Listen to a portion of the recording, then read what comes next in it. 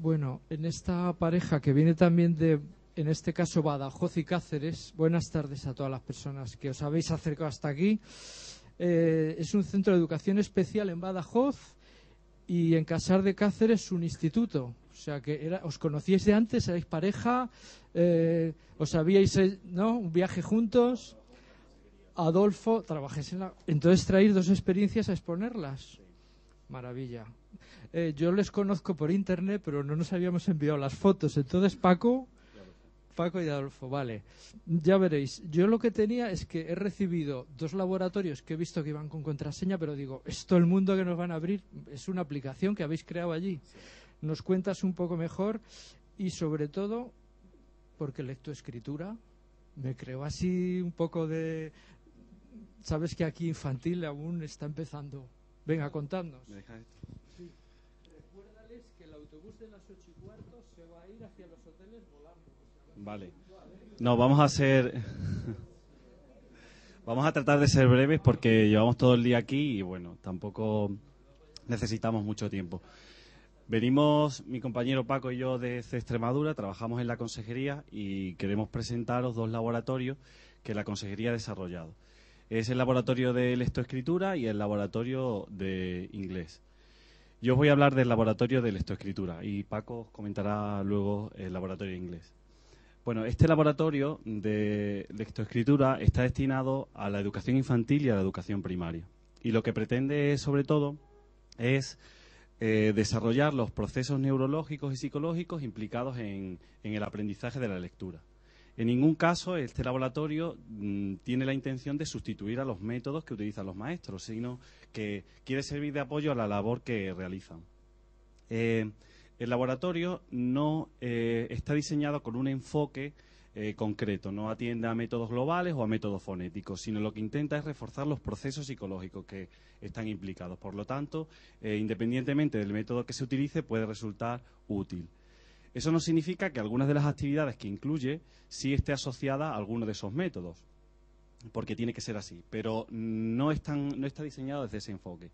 Las características que tiene, bueno, pues es flexible y adaptable, es interactivo, permite reforzar al alumno ante el acierto y encauzarlo ante el error y sobre todo le permite al profesor un control y una evaluación de lo que está realizando el, alumno.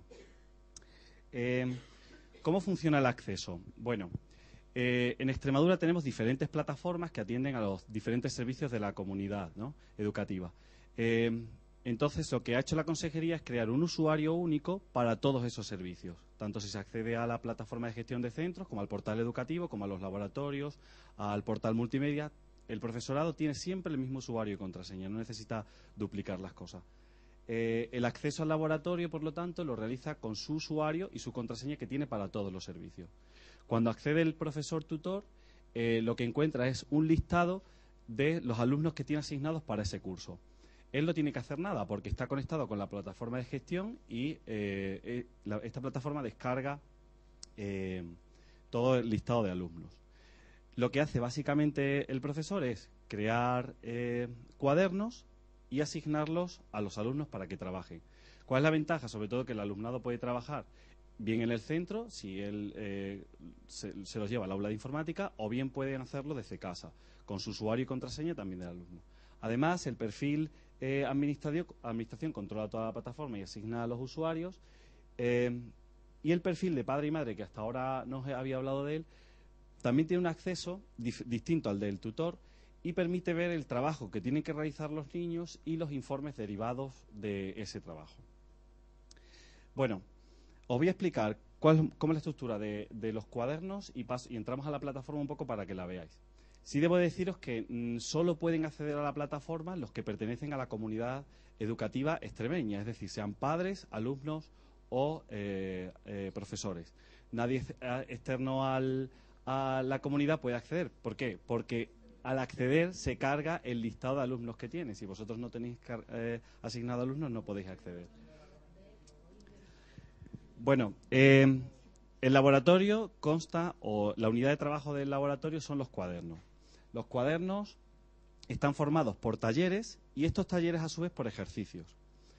El profesor tiene dos opciones, o utilizar los cuadernos prediseñados que trae el laboratorio, o elaborar sus propios cuadernos. Esta segunda opción es la más recomendable. Hay 42 cuadernos prediseñados que atienden a todos los cursos desde infantil hasta sexto de primaria eh, en número variable. Aquí vemos un listado, pasa anterior Paco, aquí vemos un listado de cuadernos prediseñados. Eh, tienen diferentes objetivos estos cuadernos y pueden venir muy bien pues para un trabajo puntual que, quieran eh, enviar los tutores. Pero lo interesante es elaborar sus propios cuadernos. ¿Cómo elaborar los cuadernos? Añadiendo talleres a esa unidad de trabajo. Eh, el laboratorio tiene 1.200 talleres que suman diferentes ejercicios con un total de 5.000 y pico ejercicios diferentes. Entonces, claro, el tutor solo puede manejar los talleres, no puede manejar los ejercicios porque si no le saldría un listado de 5.000 ejercicios que tiene que ir añadiendo. Eso es un volumen que no se puede manejar. Lo que hace es eh, manejar los talleres. Eh, pasa a, la de antes, Paco. Aquí tenéis un listado de talleres que están clasificados por objetivos, lo que persigue eh, cada uno de esos talleres. Bueno, los talleres se centran en aspectos como la atención, la memoria auditiva y visual, la asociación fonema-grafema, conciencia fonológica, todos los procesos que trabajan sobre todo eh, inicialmente los maestros de infantil y continúan los de primaria. Eh, se intentó que el laboratorio tuviese un carácter global, es decir, como hay diferentes ritmos de aprendizaje y en un colegio eh, aprenden a, leer y escribir en infantil y otros esperan hasta la primaria, se intentó que estos talleres y cuadernos tuvieran una visión global. Entonces, eh, permitiesen adaptarlo al, digamos, al aprendizaje que estamos realizando y no al curso al que se encontraba el alumno. ¿De acuerdo? Ahí tenéis un ejemplo de los ejercicios que, que componen los talleres. Ahora me voy a sentar y vamos, voy a acceder un momento a la plataforma para que veáis cómo funciona, ¿vale?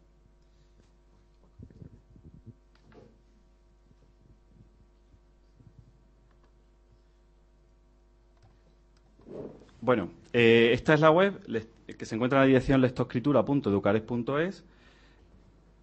Voy a acceder con mi usuario.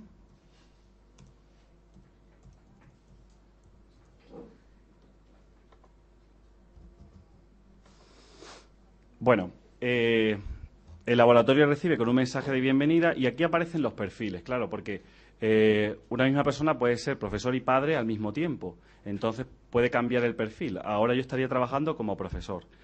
Aquí aparece una pestaña, la pestaña cuadernos, donde yo voy a encontrar los cuadernos prediseñados que ofrece el laboratorio. Tarda un poco en cargarse, depende cómo vaya la web. Eh, estas son las pestañas de gestión. Eh, como os decía, estos cuadernos prediseñados que aparecen en el laboratorio mm, se pueden asignar a los alumnos. ¿Cómo lo puede hacer? puede hacerlo a su grupo clase completo, porque le aparece como grupo, o alumnos individualmente. Es decir, eh, si él quiere establecer niveles de dificultad, puede hacer grupos de dificultad dentro del mismo aula y asignar los cuadernos diferentes a cada uno de esos, de esos grupos. Al mismo tiempo, puede asignar cuadernos eh, al grupo completo. Lo importante es que señale mm, cada cuaderno, en cada cuaderno la fecha de ejecución, el tiempo que tienen y avisa al alumno de para qué es ese cuaderno y cuándo tienen que entregar. Porque si un alumno puede tener hasta tres o cuatro cuadernos y puede ser eh, bastante complicado. Mm, hay una cosa que hemos hecho también y es que hemos limitado el acceso al laboratorio, sobre todo al que al tutor que suele ser el maestro de lengua, porque si no podríamos encontrar a niños que, que tendrían asignado cuadernos de diferentes maestros y como los padres pueden ver los cuadernos que, tiene asignado, tampoco queríamos generar una situación de ansiedad para los niños y para los padres que vieran un exceso de trabajo. Entonces ahora mismo es el, el, tutor, si es profesor, maestro de lengua, el que asigna los cuadernos. Eh, a ver si se carga el alumnado. Esto es un, un listado de alumnos eh, ficticios que tengo yo con este perfil. Eh, entonces, la edición de los alumnos no se permite porque el programa se eh, conecta con la plataforma Rayuela, que es la que tenemos para gestión de centros. Entonces aquí vuelca todos los datos. Datos de los alumnos, entonces no necesita cambiar nada. Lo único que hace es a través de la pestaña grupos crear sus, propios grupos. Yo selecciono nuevo grupo y tengo aquí mis alumnos, todos los alumnos que conforman mi clase. Y si quiero, por ejemplo, eh, crear un grupo de trabajo para el verano, pues indico el nombre del grupo, a quién va destinado y voy añadiendo alumnos a mi nuevo grupo. creo este nuevo grupo y a él pues le asigno eh, los cuadernos de trabajo. Además, se genera para cada eh, alumno que realiza eh, los cuadernos de trabajo dos informes. Un informe del resultado del cuaderno y un informe del resultado, de, digamos, del seguimiento por sesiones, es decir, del número de veces que ha entrado, del tiempo que ha empleado en realizar esos cuadernos y del resultado de cada uno de ellos. Estos informes aparecen aquí señalados para el tutor, para cada uno de sus alumnos. Y al mismo tiempo los padres pueden ver esos informes. Esta es una decisión que nos parecía transparente que los padres pudiesen conocer cuál era el resultado del trabajo que estaban realizando los alumnos. Y por último, eh, comentaros el sistema de avisos que tiene la plataforma. Es decir, cada, eh, cada vez que la plataforma detecta eh, algo, como por ejemplo la finalización de un cuaderno, un, alumno que tras un tiempo prudencial no ha empezado eh, a ejecutar el cuaderno, un alumno que lo comenzó y, todos han terminado y falta él, la plataforma envía avisos al tutor de todas estas incidencias. Los padres también reciben avisos, por ejemplo, cuando su alumno termina un, cuando su hijo termina un cuaderno o cuando el tutor o el profesor le quiere comunicar algo. Si cambio el perfil alumno, a ver si cambia porque va un poco lento, vais a ver que eh, para el alumno la plataforma es muy sencilla. Aparece un listado con los cuadernos asignados y un listado con los avisos que tiene disponibles. Para los niños de educación infantil que están comenzando a utilizar el laboratorio, los nombres de los cuadernos pueden sustituirse por iconos o dibujos. Por ejemplo, un balón de fútbol o una sombrilla. Así ellos solo necesitan acceder y verán eh, el dibujo que es más orientativo, que le puede decir la, profesora que tienen que hacer el, el, cuaderno con el dibujo del balón y ellos entran y automáticamente salta una ventana desde la que ven el cuaderno. Este es el perfil de alumno. A ellos les aparecen aquí, no tengo cuadernos pendientes ni tampoco tengo avisos, le aparecerían en estos dos listados. Voy a tratar de ver si podemos ver los cuadernos, porque tardaron antes un poco en cargarse. Aquí están. Estos son los cuadernos prediseñados y crear un nuevo cuaderno es tan sencillo como yo tengo aquí todos los talleres. Evidentemente, hay que trabajar un poco previamente con la plataforma para saber eh, cuáles son los talleres a los que quiere uno acceder. De todas formas, yo puedo hacer un filtro, por ejemplo, si yo selecciono infantil, el curso tercero y todas las áreas, y me filtra los eh, los cuadernos, los talleres que están mm, que son orientativos para educación infantil. A medida que vamos avanzando de curso, disponemos de menos de menos talleres, porque los talleres destinados a quinto y sexto están enfocados sobre todo a la comprensión lectora. Si yo necesito crear un cuaderno, voy añadiendo estos talleres a la lista, lo estoy haciendo aleatoriamente. Puedo previsualizar cualquiera de los talleres si no, si no sé muy bien de qué, en qué consiste, aunque aquí, mientras se carga, aquí aparece la información eh, de, esos talleres. Este, este, es un ejemplo de, los talleres. Se, eh, se, ha intentado que el diseño también fuese mm, ergonómico para los niños, que no tuviesen dificultades con los colores o que les distrajese la atención. Em, bueno, este es un ejemplo de ejercicio. Estaba creando el cuaderno, selecciono los, los talleres que necesito, hago clic en crear cuaderno y el cuaderno eh, pues ya está creado. Es este que acabo de hacer ahora mismo. ¿De acuerdo? Y solo quedaría asignar este cuaderno a los alumnos. ¿De acuerdo?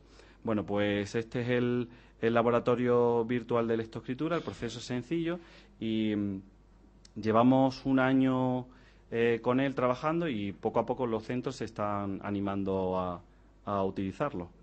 Eh, también para acompañarnos en la plataforma, a través de los centros de, profesores, se les está dando formación a los tutores que quieren utilizarlo para que aprendan, sobre todo para que profundicen en el uso de, los talleres, que es lo más complejo, analizar tantos talleres que, con los que cuenta el laboratorio. Y nada, eso es todo. Os dejo ahora con Paco, que os va a hablar del laboratorio inglés.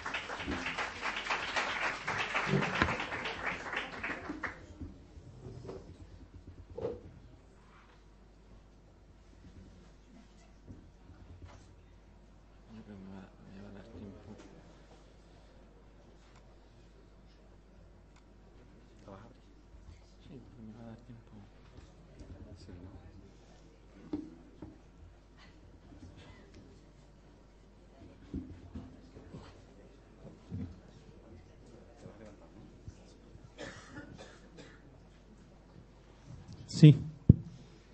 Bueno, os voy a hablar del laboratorio virtual de, inglés que hemos desarrollado en la Consejería de Educación de, Extremadura. El objetivo principal con el que lo hemos desarrollado ha sido intentar aprovechar eh, todo lo bueno que aporta Internet para el aula de idiomas y poniendo un especial interés en todo, en todo lo relacionado con, los aspectos orales, tanto de comprensión como de expresión oral. Ah,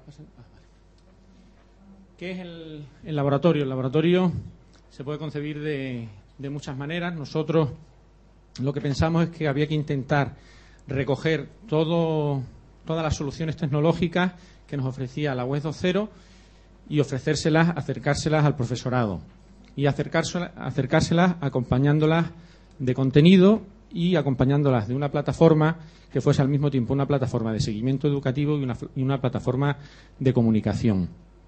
Los contenidos educativos que, con los que cuenta el, laboratorio son para todos los niveles, empezando en infantil y llegando hasta bachillerato, y además incorporando materiales para todos los cursos de la Escuela de Idiomas.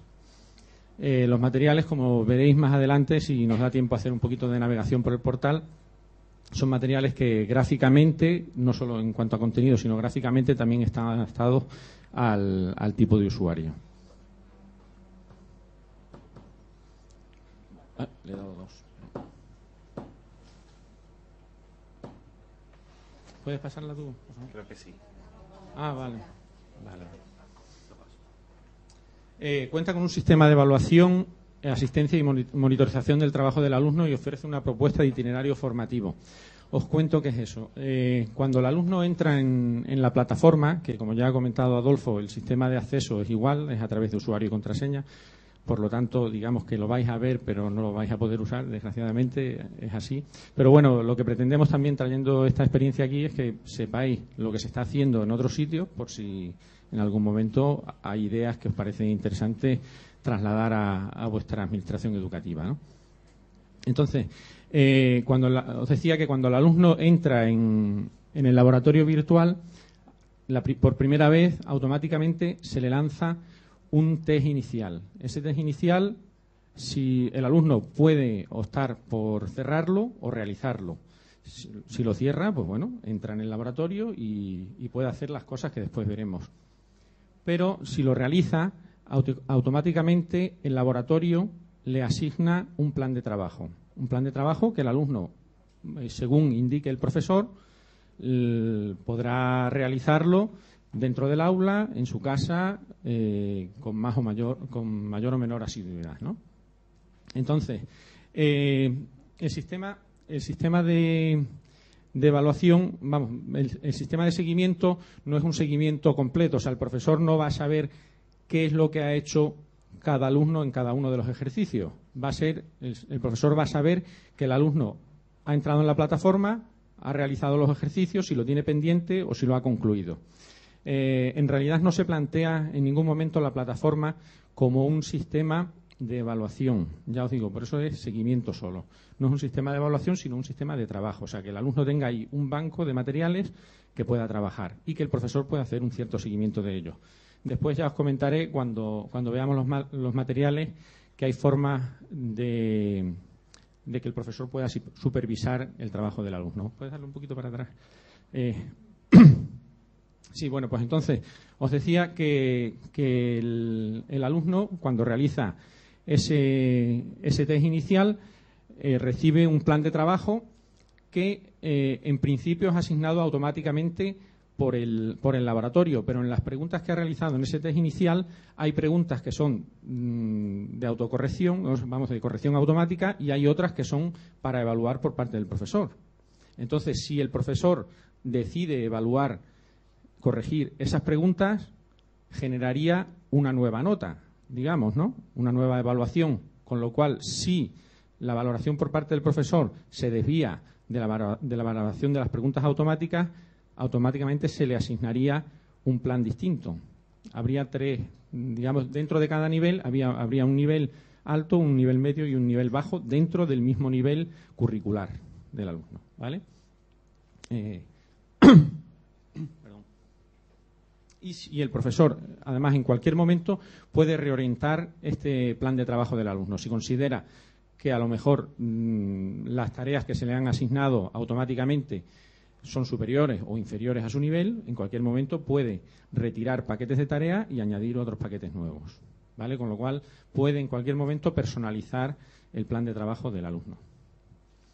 Eh, como os decía, los contenidos educativos digitales que, con los que cuenta el laboratorio es un currículum completo, además con, eh, son materiales con una estructura curricular, o sea, repasan todos los contenidos eh, programáticos de, los distintos niveles educativos y afectan y van desde, desde preescolar hasta bachillerato y inclu, incluyendo las escuelas oficiales de idiomas.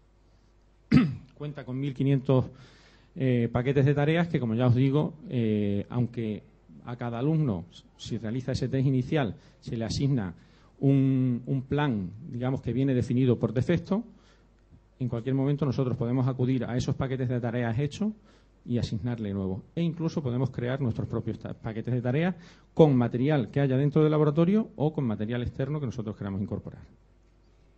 O sea, que digamos que intentamos también potenciar el papel el papel de, del profesor, que no, no planteamos una enseñanza asistida por ordenador, sino complementada por el ordenador.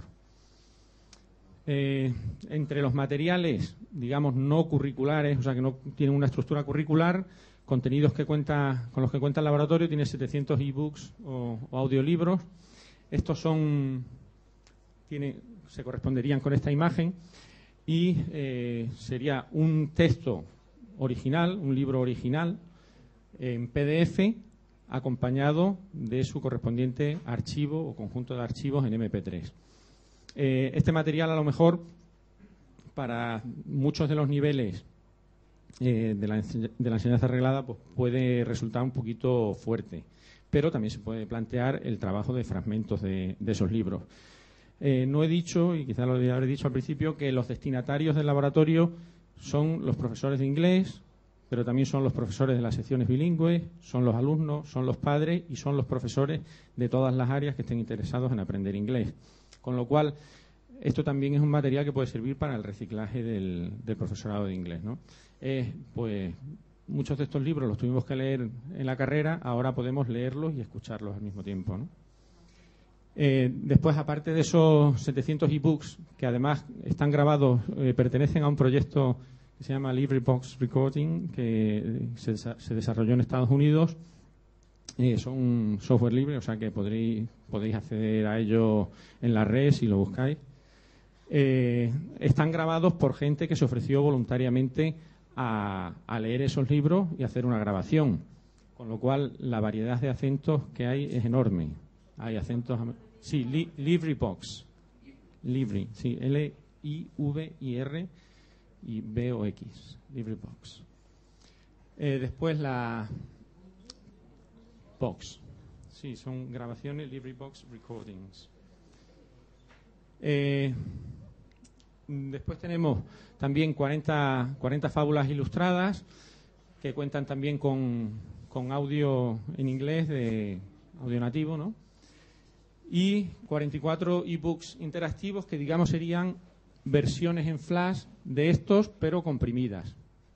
Pensando eh, pues que muchas veces por ejemplo en el aula de inglés se suele se suele dar a los alumnos un material obligatorio de lectura. Bueno pues quien no quiera darlo y tiene aquí material para darlo eh, y después, aparte, hemos creado también cuatro, cuatro cómics. Estos no cuentan con audio, que son ya, en, como veis, en un formato mucho más potente gráficamente y que, son muy interesantes también.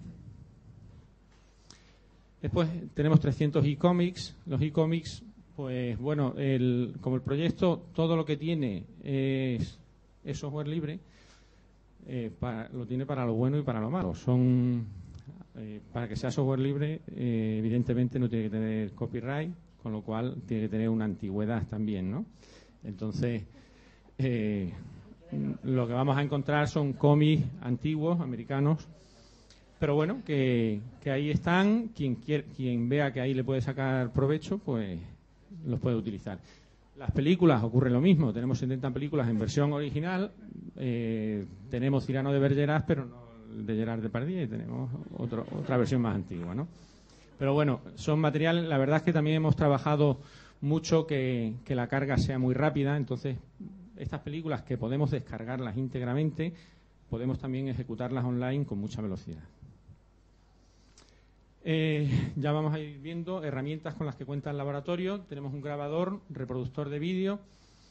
Eh, mm, cuando, cuando, estamos trabajando en laboratorio en, sesiones de formación, pues bueno, también le planteamos al profesorado cómo creen ellos que se puede explotar esto. Y la verdad es que cada profesor plantea una forma distinta. Eh, mm, anteriormente, digamos, en, tiempos pasados, eh, si queríamos eh, conseguir un, o sea, queríamos evaluar al alumno por su expresión oral, podíamos acudir a plantear una entrevista, lo cual técnicamente es un poquito difícil, vamos, consume mucho tiempo, es muy difícil que podamos dedicarle 10 o 15 minutos a evaluar a cada alumno. podíamos hacerlo a través de una grabación de audio ahora planteamos que se puede hacer una grabación de audio y vídeo. O sea, que el alumno le podemos plantear en un paquete de tareas de esos que creamos, pues que lea un fragmento de un libro delante de la webcam y lo grabe y nos lo envíe a través de la propia plataforma. Después veremos un poquito más de cerca. Tenemos también un diccionario multimedia, este más orientado a, la primaria, que ofrece el texto de la palabra, una imagen y el audio. Entonces sería un material de consulta, pero también un material que nosotros podemos pedirle al alumno que trabaje, que busque determinadas palabras y construya frases o lo que sea y deduzca el significado a través de la imagen y del audio que les damos. Tenemos también un traductor para traducción directa e inversa, eso entre las herramientas, y, un generador de voz automático, no sé si sabéis qué son las herramientas de text-to-speech, que tecleamos el texto y nos lo convierte a voz. Entonces ahí generamos, estamos generando archivos de audio. Primero lo podemos utilizar para saber cómo se pronuncia una palabra. La tecleamos, pinchamos y nos, dice cómo se pronuncia. Pero también tenemos la opción de descargar este sonido en MP3, con lo cual contamos con un material que el alumno puede utilizar también para hacer sus propias creaciones, pues una presentación, un, vídeo, etcétera. Eh, este es un elemento muy importante que tiene el laboratorio, que es el gestor de archivos. Gestor de archivos, bueno, cuando, el, profesor entra y el alumno entra, automáticamente, como se cargan los grupos, los alumnos de ese grupo, eh, se genera un, aula virtual, ¿no?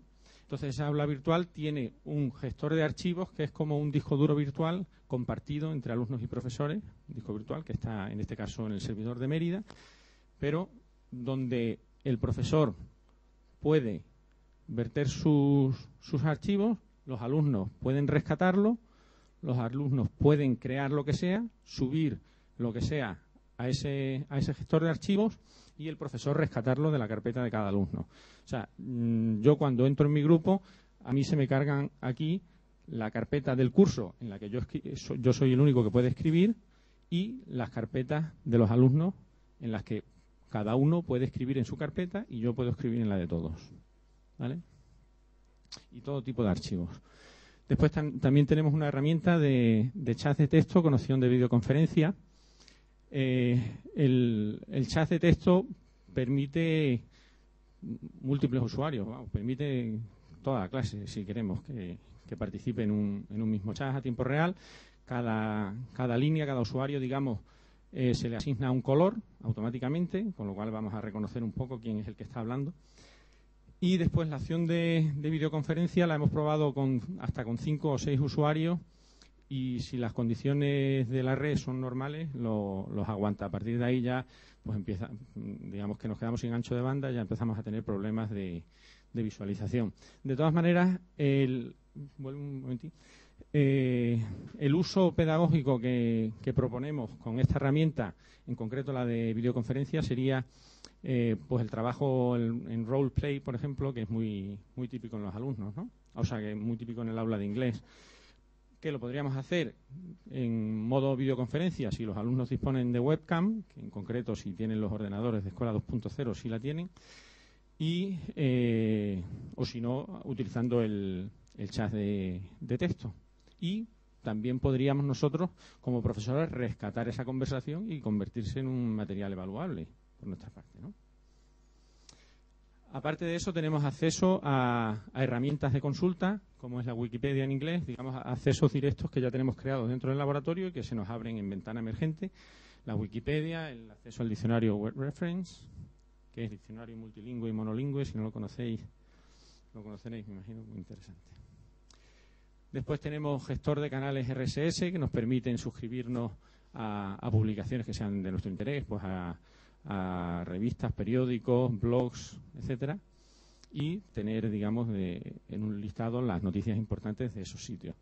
Y después tenemos acceso a materiales de, la propia consejería y, como veremos después, tenemos la opción de incorporar nuestros propios enlaces. O sea que si vosotros como profesores estáis acostumbrados a trabajar con cuatro o cinco páginas, podéis incorporarlas como enlaces permanentes dentro de vuestro laboratorio. Creáis el enlace y siempre lo vais a tener ahí, estéis en la clase de segundo A, en la de tercero A, en la de cuarto B.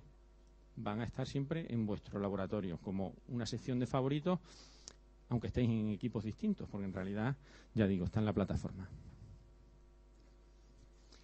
Entonces, bueno, lo que se plantea es que podamos trabajar de modo flexible. Habrá profesores que, opten porque sus alumnos hagan el test inicial y sigan el programa que le asigna el laboratorio. Habrá otros que digan, no, yo esto no lo no, no quiero que lo hagan y yo simplemente quiero utilizar las herramientas. Que digamos que cada uno adapte eh, su forma de dar clase a la, bueno, las posibilidades que ofrece el laboratorio a su forma de dar clase, ¿no?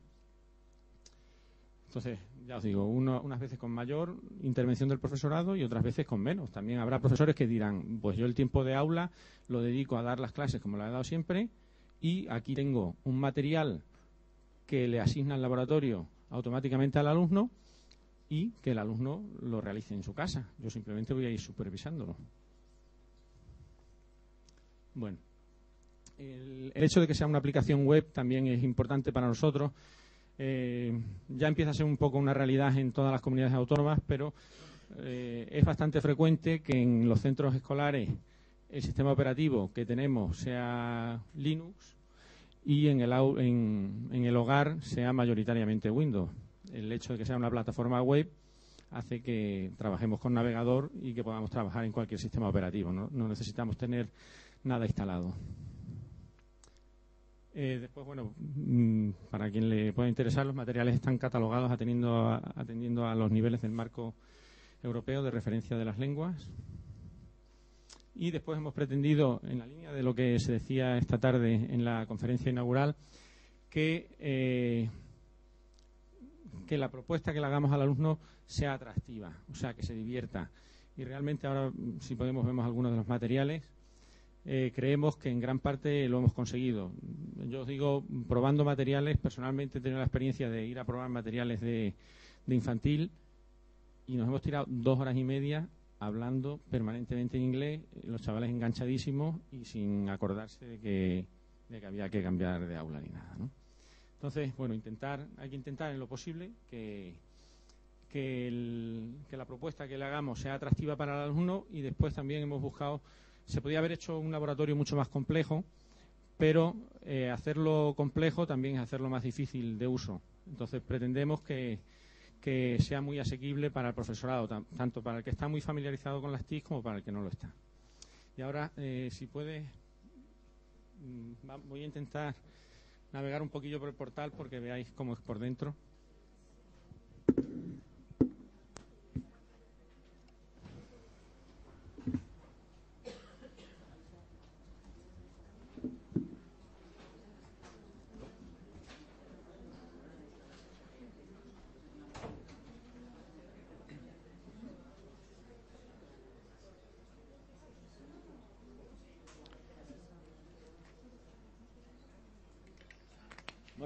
Como veis aquí, como veis aquí, cuando he entrado, mm, he entrado y me aparecen los distintos perfiles. Yo tengo perfil de administrador, también tengo perfil de padre porque tengo alumnos eh, estudiando en centros públicos, estudiando poco, por cierto, y, o menos de lo que me gustaría. Y eh, también perfil de, profesor, de profesor de distintos grupos, ¿no? Por cierto, también cada, cada profesor tiene, cuando entra, un grupo de prueba para que vaya fogueándose, digamos, en el uso del laboratorio.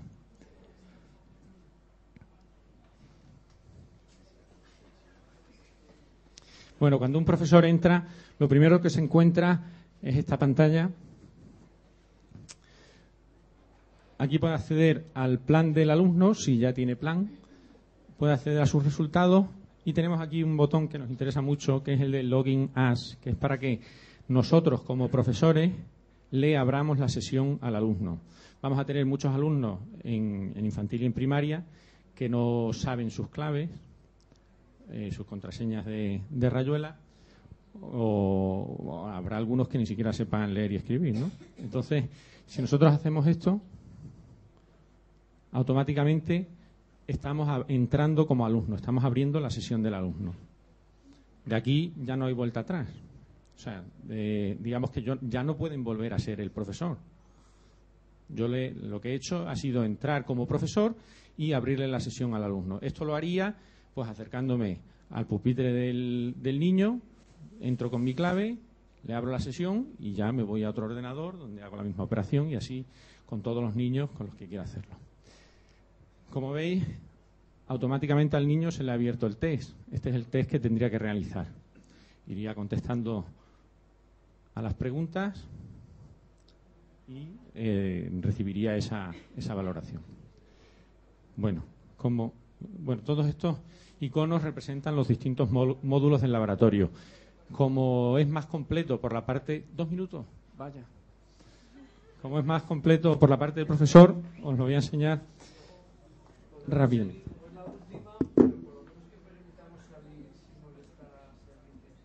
Vale.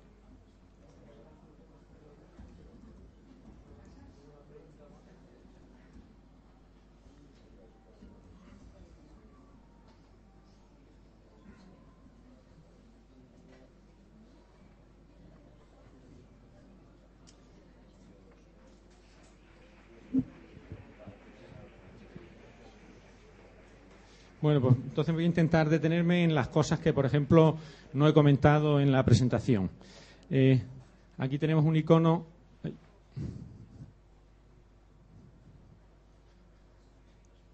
Un icono que nos carga juegos. Estos juegos son juegos educativos que podemos seleccionarlos como en la opción multijugador. O sea, que podemos tener a un alumno en la primera fila jugando contra un alumno de la última fila de la clase y son juegos educativos y muy atractivos, van ofreciendo la puntuación que va teniendo cada uno y la verdad es que están muy bien. Aquí tendríamos que estar dos usuarios en, en la misma aula virtual para poder jugar, entonces ahora mismo no vamos a poder jugar. Pero bueno, que tenemos varios. Eh, los contenidos.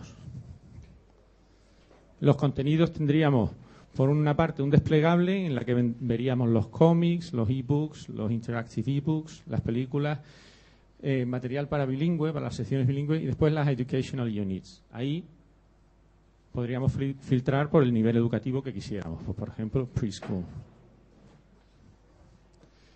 Aquí tendríamos la lista de recursos. Esto, hay cosas que estamos mejorando precisamente a través de la formación. Los profesores a veces nos plantean algunas cosas que, mejoran la ergonomía del laboratorio, etcétera. Bueno, entonces nos abre la ficha del alumno, podemos descargarla. Es importante que tengamos esa opción de descarga. Eh, porque así no tenemos que confiar en el estado de la red. Nosotros contamos con una intranet que suele funcionar muy bien, pero eh, si lo llevamos en local, pues mucho mejor. Y podemos también verlo online. Deberíamos poder verlo online, sí.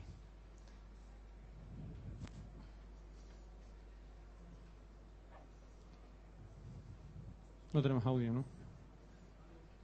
Hello. First, you have to look at the Sí lo tenemos. Está bajito, pero... Click on the button. Continue.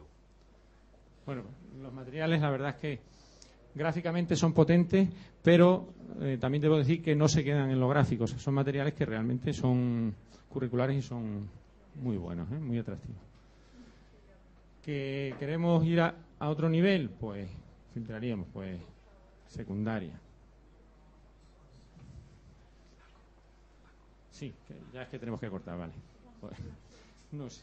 Pues entonces, bueno, eh, más o menos en la presentación eh, tenéis un poquito más detallada la información.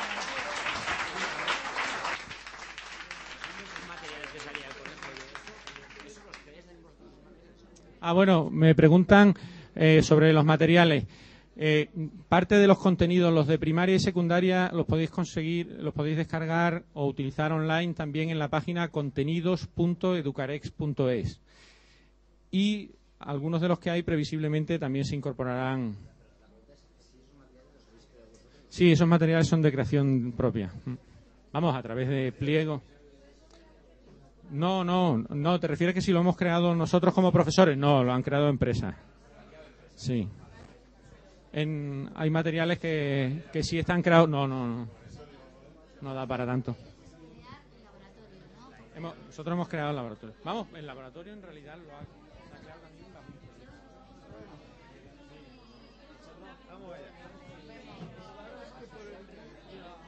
próximo concurso de traslados nos vamos a ir a Extremadura. Menuda envidia.